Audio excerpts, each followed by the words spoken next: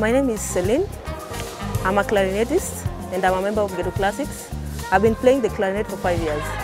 Being at Ghetto Classics, for me, I've achieved a lot, especially musically, yeah, and it has really helped me. First thing that I've achieved in Ghetto Classics is being a good musician, and the second achievement, which is a big achievement, is my students.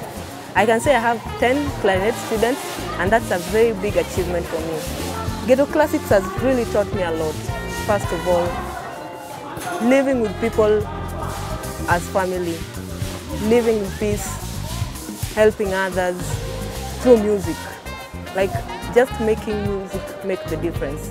We have worked, we have worked with the, the Nairobi Horns Project. We have worked with them. Uh, okay, Juma Have worked with him. It's good, especially with Juma Tutu. It's good.